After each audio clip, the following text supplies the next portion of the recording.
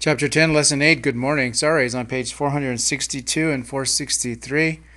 We've gotten to the Chapter 10 mixture problems, and they're not really so complicated as long as we go slow and we use the tables as they do in this lesson. I don't always use the tables, um, but the tables are a good framework to be working within.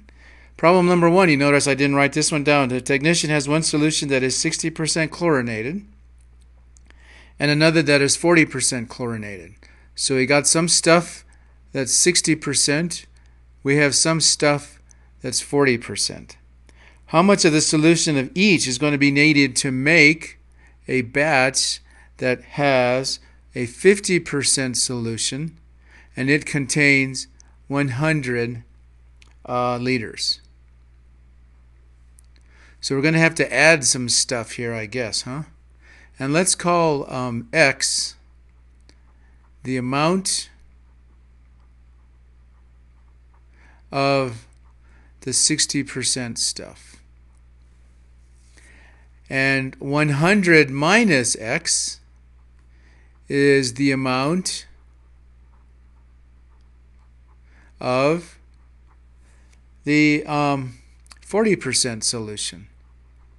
Because we end up with 100 liters of this stuff all total. So let's just do this again. X is going to be the number of liters of the 60%. And to that, we're going to add 100 minus x times the 40%. And when we add this stuff up together, we're going to end up with a solution that is 50% in strength and it has 100 liters in total amount. So we can work through this as 0.6x plus 40 minus 0.40x. That turns out to be 50. All I did was distribute, not distribute, I just did multiplying, sorry. We can combine like terms. We end up with 0.2x plus 40 is equal to 50. So then 0.2x turns out to be 10, or x turns out to be 50. So we need 50 liters of each one to make a solution of 50% strength. And if you look back at the problem, it's pretty simple. The solution is 60%, the other solution is 40%, and we want to dilute it to make it 50%. So that means in order for it to be diluted halfway, we need to have the same amount of each. So if we had 100 liters all total when we're finished, then obviously we need half of that for each of the two solutions. Number one, kind of simple. Let's try number nine. Number nine talks about some folks who voted, and we're going to call these folks who voted from uh, Southern Maywood X. So X stands for the number of voters, the people who voted. From Southern Maywood.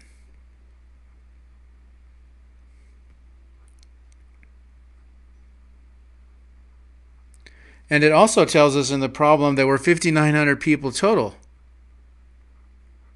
So I guess 5,900 people minus x would be the people from North Maywood. And I got that because there were 1,500 people all total.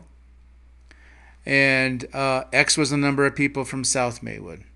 Now, the problem is confusing because they throw in Northern Maywood voted 60% to 40%, and Southern Maywood voted 90 to 10% against. So you just got to keep track of which ones we should be using. So we're going to be using the 60% and the 10% because those both voted in favor of the project. So we had 10% of the people from southern Maywood plus 60% of the people from northern Maywood. And when we were all done, we ended up with a population of people who were 55% who voted for it and that was of the population 5,900. Let's go through that again. The problem is confusing. Southern Maywood voted 90% to 10% against the project, which means 10% voted for it. Northern Maywood voted 60% to 40% in favor. So 60% of those people voted in favor. These are people who voted in favor. 10% of Southern Maywood and 60% of Northern Maywood. So now it's a simple problem. It becomes 0.1x plus 3540 minus 0.6x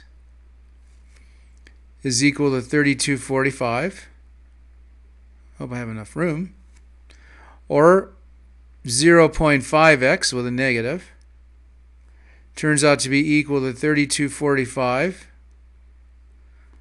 minus 3540 which is negative 295 so this tells us if we divide both sides by negative 0.5, we end up with x being equal to the people from southern Maywood, and that turns out to be, with a calculator, 590 people.